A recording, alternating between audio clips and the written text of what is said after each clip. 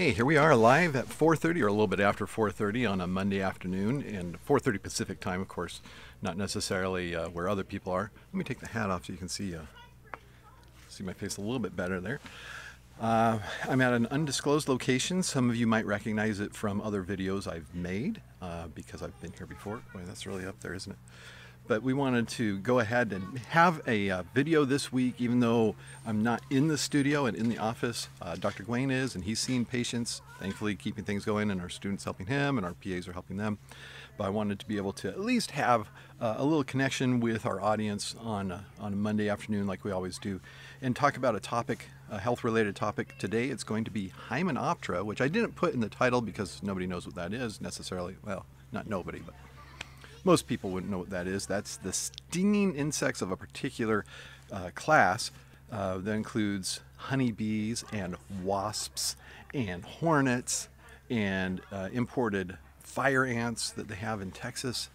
And those are horrible things. And the reason the topic came up was because my daughter this morning got stung by some kind of stinging insect. And we think it was probably one of those. Uh, didn't see a stinger afterwards, so more likely a, a, wasp or hornet, that type of thing. Not, not a, uh, not an ant, not a fire ant, but probably a flying insect of sorts with the wings. Actually, that's how they get their name. Hymenoptera refers to the structure of the wings. I'm not sure how the ants get in on that. They're related. Um, normal fire ants don't. I don't know if the queen does or not. People who know more about zoology would be able to answer that. But we do have quite a number of people watching, and I I think the chat is working, and you're welcome to do it. We'd be glad to uh, talk to you on the chat and answer questions or comments if you have them. If uh, the chat chat is not working, I apologize that uh, I did something wrong if it if it's not, but uh, we will try to make the uh, the chat work here. I'm setting the settings on. That's why I'm looking at this the screen here, so that you can see if there are uh, chat messages also if they come through. So uh, do make sure to put a message in there if if you are able to. Uh, if if somehow I set it up incorrectly and you're not able to, that's fine. We'll just go ahead and talk about uh, the stings and other things that might happen to come into the conversation as we're talking here on a, a live YouTube stream. Uh, I do have an updated ending. You know how we have the names going at the ends of these videos, those of you who watch regularly. Uh, that won't be, uh, oh, okay, we do have chat. So Lindsay is here. She's, she's happy to see my face. Thank you. You can see my hands too if you want. My hands and face as well. Also, uh, the video where the names come up with Lindsay's name, they're not moving because she's one of the you know big contributors on Patreon, so she gets a, a place of honor there along with some other people. Uh, that will be updated uh, next week. I've already made it, I just haven't put it in place. Of course, if there were to be other changes on Patreon, if people click on the link and go to Patreon, which is actually in the description right now, uh, you would be able to have your name on it for next week if you did it right now because I'd have time to remake the, the video that we play at the end. Uh, we also will have a little different because our normal director won't be here or won't be in the studio next week. Uh, we have um, Holly will be out for a period, possibly six weeks. We'll see how long it is. And uh, so I'll, oops, sorry about that. I'll have to be running the show, which uh, I'll be a little distracted running the show, but Dr. Gawayne will be able to keep the smooth conversation going for you. So we uh, introduce the topic here, Hymenoptera. It includes, excuse me, it includes, oh, and you may hear some children. There, there may be children in this video somewhere in the lake. Uh, hopefully not the youngest one in the lake. He tried that earlier uh, it, yeah, it's not supposed to work that way. Keeping the face out of the water we found is important. So everything's okay. I don't want you to worry, but uh, yeah, there was a bit of excitement there for a moment. Hymenoptera. So bees, honeybees, uh, bumblebees, wasps, uh, yellow jackets, and then the fire ants.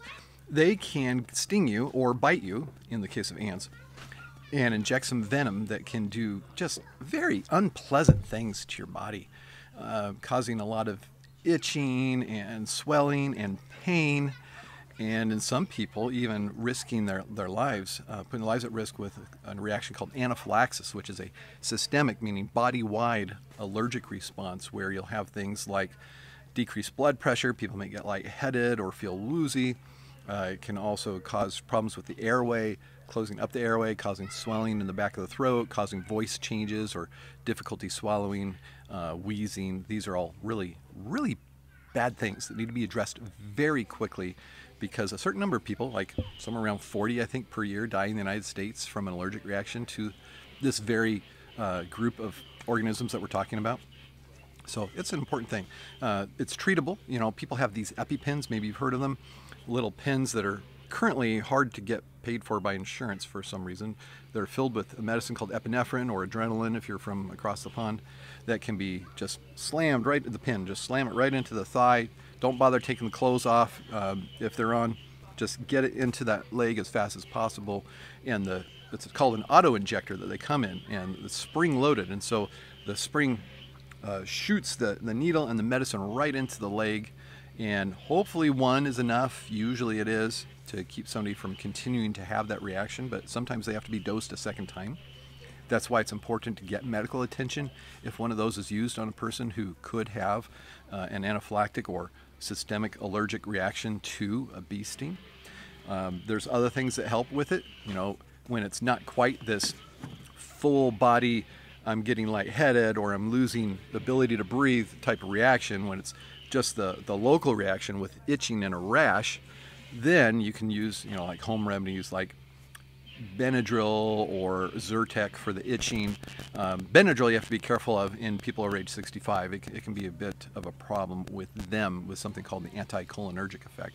So I do encourage people for, if it's for itching, if you can get by with generic cetirizine, that would be better than to get the, the Benadryl or the generic for it is diphenhydramine.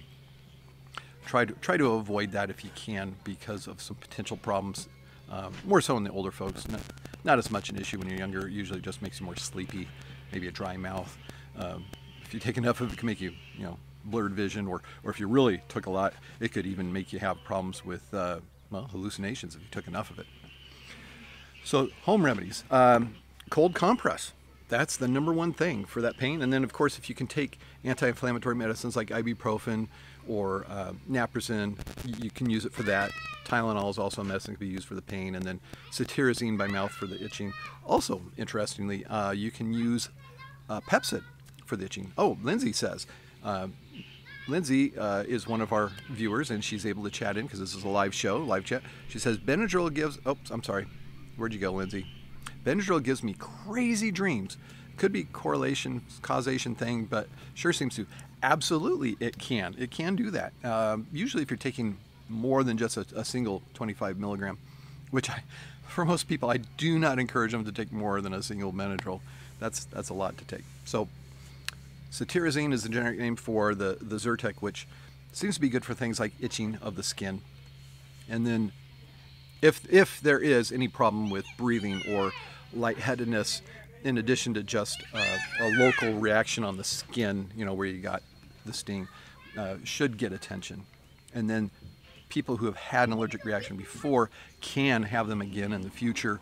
In fact, quite quite uh, probably will, although there is some data to suggest it won't be as severe in the future if you've had an anaphylactic reaction to this group of stings, which is not what you would necessarily expect. It's kind of unexpected that it looks like that may be the case.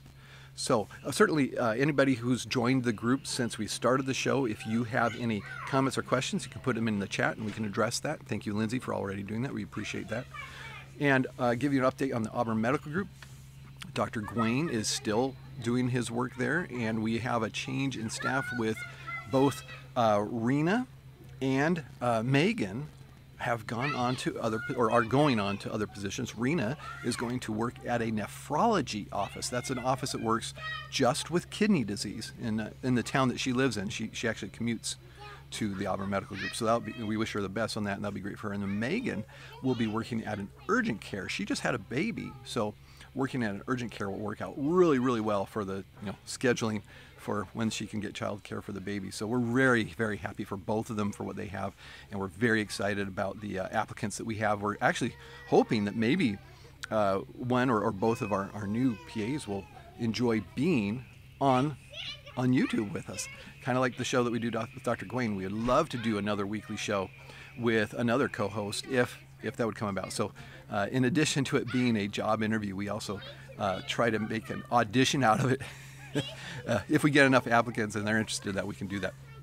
So, any other comments or questions? And seeing none, we will go ahead and call it a show for this week. Thank you. I, I just wanted to throw something out there this week as I'm not in the office and in the studio, but didn't want to abandon our audience on YouTube because you're so faithful to come and watch us. We wanted to, to connect with you. And special thanks, of course, to Lindsay, who is is on the Patreon, but also who uh, was on the comment. Lindsay, she, I have no medical experience, but I would be happy to come. On. Thank you, Lindsay. When we need a mortician, we will absolutely come uh, calling on you. Till next time, Dr. Mark Vaughan telling all of you to stay in good health.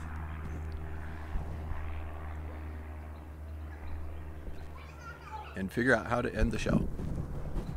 There we go.